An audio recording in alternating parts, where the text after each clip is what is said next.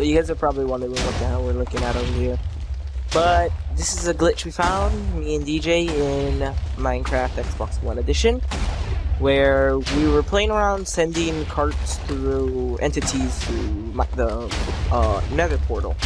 They worked, except there was a bit of weird glitch, as you can see. Portal is not there, but it's still coming through, and you can see this is the this is the setup we had on both ends uh, to send the minecarts through. This one is not activated though because we don't want it coming through. As you can see, there's a big pile up. He's spamming it. But it when the when the minecart with TNT hits each other, they explode, and they explode the portal.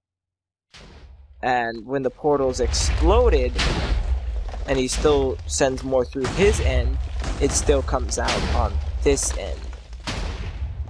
And vice versa we thought this was a very weird glitch, but yeah, this has to be a glitch because, or a bug. It has to be a bug because they shouldn't be coming through. Um, we're also going to test some other entities, such as a uh, villagers, as you can see, spawning some villagers now. They come through that portal, so it's like registering as a port, uh, as a stuff. Oh, DJ DJ came through too. Look, it's registering as the Nether portal. We can't go through back, of course. So we're gonna have to go and I'm gonna go on the other end and show you the other end what he was seeing. Oh, yeah, I'm I'm sorry, I was stupid. Uh, the Nether portal is too tall. All right, okay, we'll see things on this end. Oh wow, um, DJ blew it up when I came through. Okay.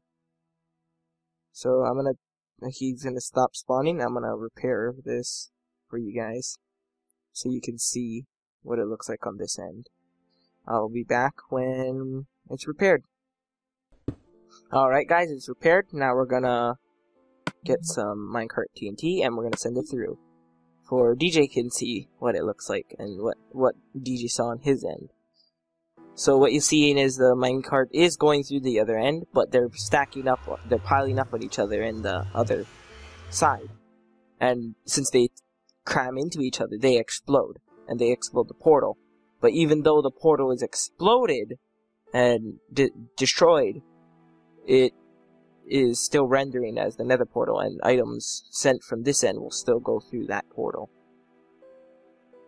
As you can see, I'm gonna I'm gonna spam it right now. I'm gonna spam it with a shit ton of TNT, and that's how they explode because they cram into each other and stuff. That's what was happening on the other side, but it was still coming through the portal even after it was destroyed.